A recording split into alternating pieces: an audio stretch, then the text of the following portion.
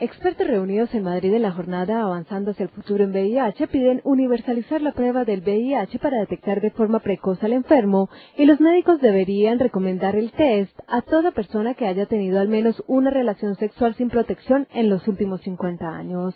Los doctores destacaron que la única forma de erradicar el SIDA será evitando nuevos contagios.